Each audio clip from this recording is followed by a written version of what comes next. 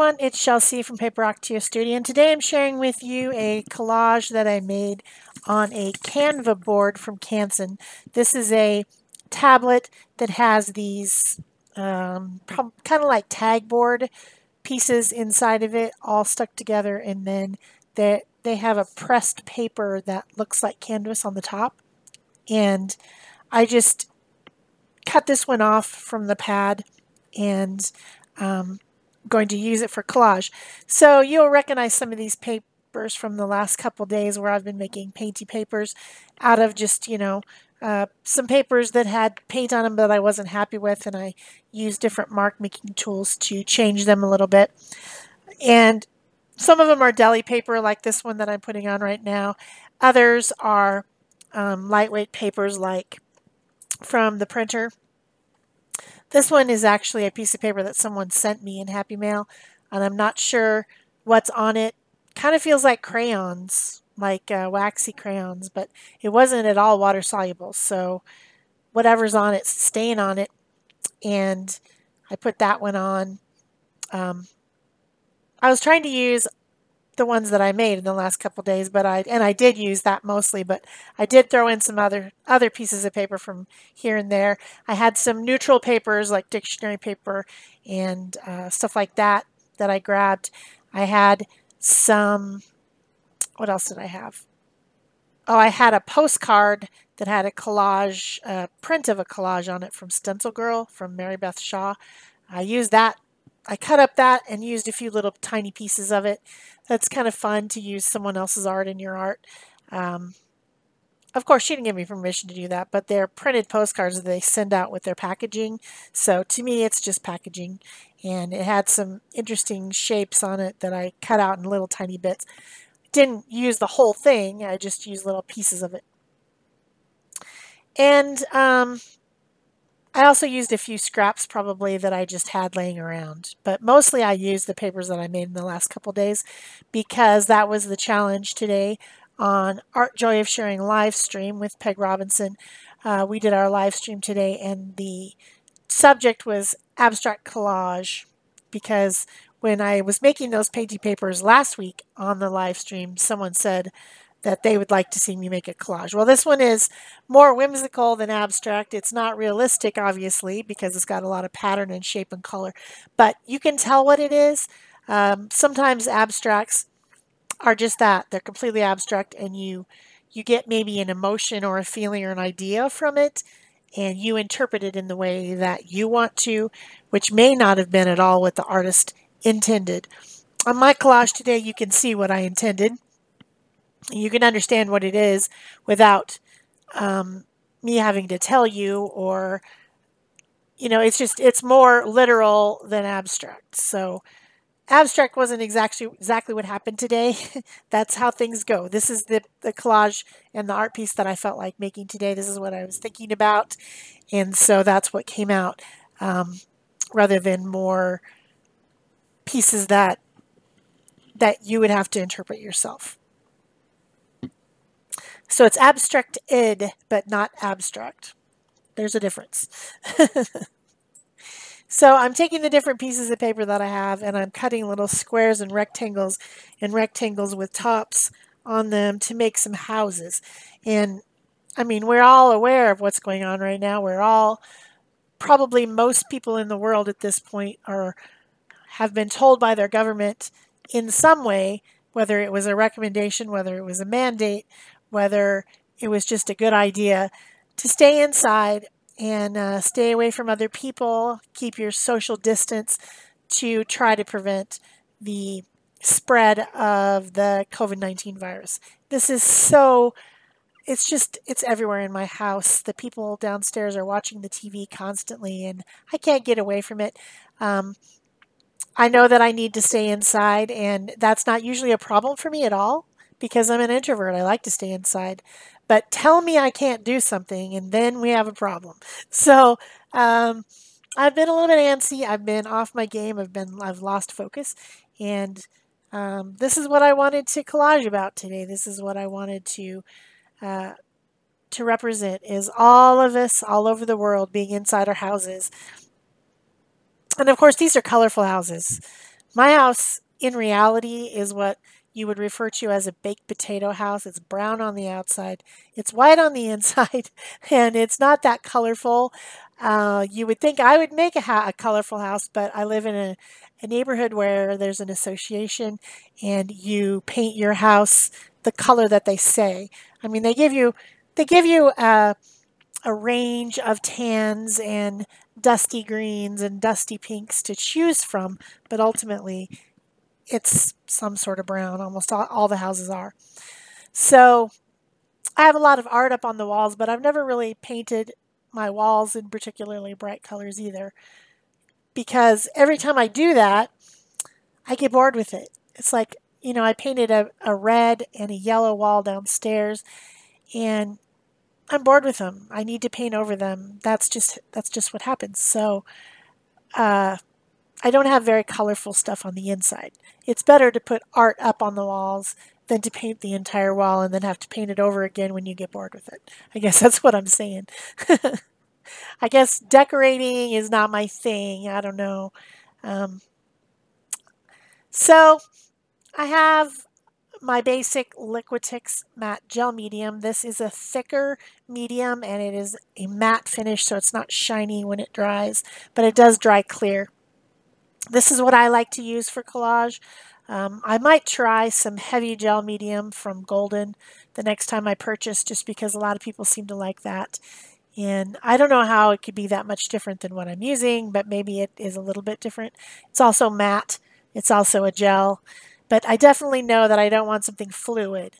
Um, I use fluid medium occasionally, and I use it for very thin tissue-like papers. And then for everything else, I use the gel format because it's it sticks in place and I can put some on the front, some on the back, and then stick it down, put it over the top, and everything smooths out easily. Uh, I do have a gift card or credit card to scrape with if something's got a bubble in it and I want to make sure that it's scraped down. I have my Distress Collage brush, which I go over the top of each piece to uh, push the bubbles out and um, make sure that it's stuck down. And I have another glue brush that I didn't end up using. And then I did have a glue stick with me just in case. Um, I ended up using the matte gel medium the whole time, but I thought maybe on some of the tiny, tiny pieces that I might put on, I would use the glue stick and then go over it with the matte medium just to make sure it's down. But I didn't end up doing that, so it's just there. Have some scissors. Uh, oftentimes when I'm collaging, I tear all my pieces. Either just tear them freehand or tear them with a metal ruler if I want to make a straight line. I like the look of torn things. Uh, it's more natural and organic looking. But in this case, houses are straight lines or straight-ish lines in my case. And so um, I was using the scissors instead of tearing out my shapes. So I'm putting some roof lines on some of them. I've, I've put mostly pointy, these are mostly pointy buildings. This isn't a city. Um, you know, if I made a city, they would have been tall rectangles with maybe some squares in them. Um, not going for that this time. I'm going for more like just an idea of of homes kind of spread out across the country or across the world. That's the reason that I made these hill shapes um, at the beginning and um, with bigger, larger pieces of my painty papers. This piece down in the bottom right hand corner has some some triangular shapes and scribble shapes uh, with a China marker and those remind me of paths or roads or things on a map. So I was happy with that actual piece at the bottom. And then uh, the middle piece in the background has has a bunch of letter shapes stacked on top of each other, but it's giving kind of linear shapes as well. So those are reminiscent of a map or a road. So I was happy with that too. The one at the top is very organic. It has that uh, kind of scribbly veiny look in different colors, which I thought was kind of neat. And it's got some blues and, and greens into it and uh, kind of almost, it almost looks like lightning a little bit. Uh, maybe it's a little bit stormy. I don't know. But yeah, just having fun with pattern and color and shape and getting all these little houses built. I also needed to build some trees and um, because in our neighborhoods and towns, trees are often what you see. I didn't make any cactuses here. Here, the tall cactuses are what we think of as trees. We do have a couple other kinds of trees, but it's very limited. And um, I don't know. I guess I could have put some cactus over there. Actually, that would have been cute. Maybe I'll go back and do that. Put a couple cactuses on that kind of of off-white colored hill over there. That would have been that that's smart. I'm going to do that. you won't see it, but I'm going to go put a few saguaro cactuses uh, over on that on the right hand side to the top near the sunshine because that'll represent my state better than uh, these regular looking trees. I guess I should have made some Santa Fe style houses too, or California style houses with the red roofs. I don't know. Anyway, I was just cutting and gluing. I was not thinking thinking that hard about it. You know what I'm saying? It's cutting and gluing. So I got trees, I've got houses, I've got all kinds of roof lines there in all different colors and uh, mostly square, rectangle, and triangle shapes. Then I start adding some other pieces over the top um, in, on some of them, some smaller pieces that have different grids on them, different things that have been stenciled or printed. It's just a lot of fun. A lot of fun. That's what this is all about today. Having some fun and uh, talking to friends. Of course, this was during the live stream, so there was people in the chat. You can always go and watch the real-time live stream recorded over on our Art Joy of Sharing channel. And of course, I'll put a link to this video um, in the description box below the video, as well as in the iCard up in the right-hand side. And um, there'll be other links to other videos that might be similar to this. And then uh, if you want, you can go watch that real-time video if you prefer it not be sped up like this is. This is uh, either sped up four times or eight times in different areas because it, when I condensed it down to four times fast like I normally do, it was almost 30 minutes long. So I needed to take 10 minutes out because I try to make these videos about 20 minutes long on my channel. That's my own personal rule.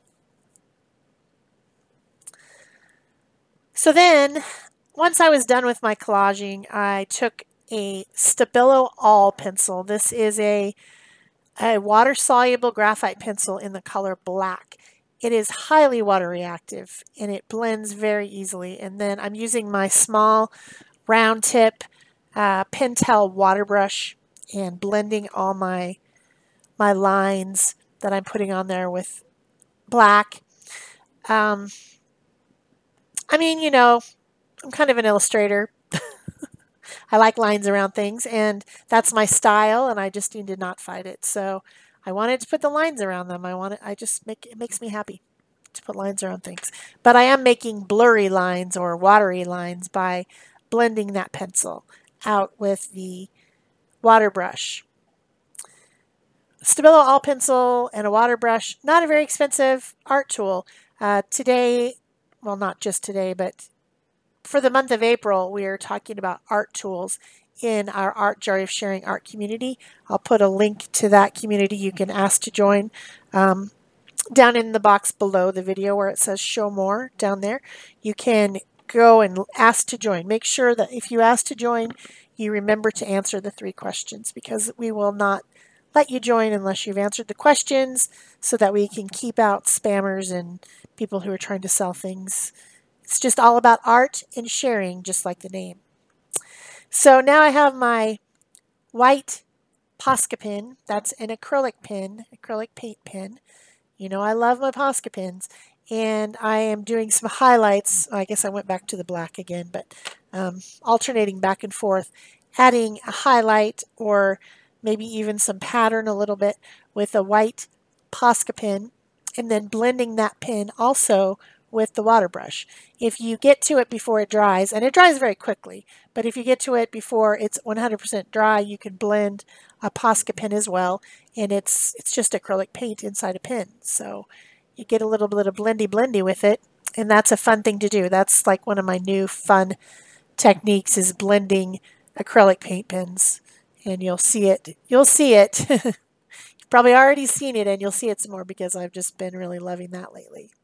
I like the ability to apply the paint, um,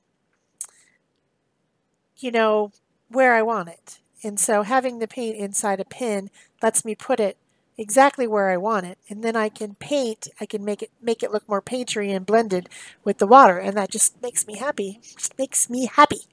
Happy, happy, happy. So I like to do that. So that's what I'm doing with the white. And then I end, end up coming in with some other colors of Posca. I'm not sure we're probably getting there pretty soon. I mean, there's a lot of sameness in this this video, but it's also interesting to watch uh, how I hop around and work on different sections at different times. Amazingly, I didn't get my hands very dirty. There, there's a lot of glue on them, but there's not very much of anything else on my hands, so that's cool.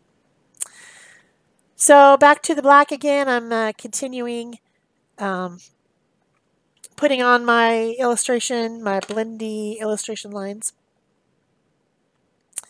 Almost done with that. Just had one little section left. I think right before this is when we turned off the live stream, so I didn't make the entire thing on the live stream. I had to finish it up after we turned it off. It's only an hour and a half that we do live streaming, so don't always get my project completely done in a live stream. So then I get my black fine tip Posca pen, and now I'm starting to draw things. Um, I'm not blending with this, I'm drawing uh, with the black. It's the fine tip, so it's not the extra fine tip with the little metal on it, it's just the fine tip. And it makes a fairly fine line. Drawing some things on, and then I get out some of my other colors of Posca. I have the Naturals set on the left, and then the one on the right is the set of um, I think it's 16 or 18 medium tip multicolors that I have.